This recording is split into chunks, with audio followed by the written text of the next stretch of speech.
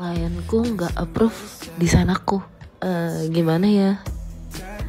Hai, Mimi here. Jadi kali ini klienku dia minta didesainin kupu-kupu plus ada geometriknya. Tapi ternyata dia nggak suka sama desain aku. Dia nggak suka sama kupu-kupunya dan dia nggak suka sama geometriknya. Setelah ngobrol beberapa lama, dia ngasih tahu ada satu kupu-kupu yang dia suka, yaitu Blue Morph Butterfly. Terus dia minta gradation boxnya itu dikecilin. Aku ngikutin apa yang dia mau karena balik lagi ini kan badannya dia.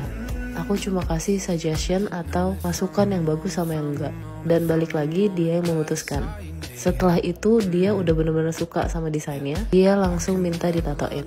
Tato ini dia buat buat mengenang papanya. Ada beberapa detail di tato ini yang mungkin aku nggak bisa share secara detail untuk menjaga privasi klienku. Ini tato pertamanya dia. Terus aku nanya, ini kamu udah izin belum sama orang tua? Dia bilang iya, of course dia izin. Aku sampai kaget karena anak-anak sekarang tuh udah keren-keren banget. Dia sampai minta izin ke mamanya. Proses pengerjaannya kurang lebih 2 jam. Ini aku seperti biasa pakai satu jenis jarum aja. Dan ini hasil jadinya. Dia suka banget.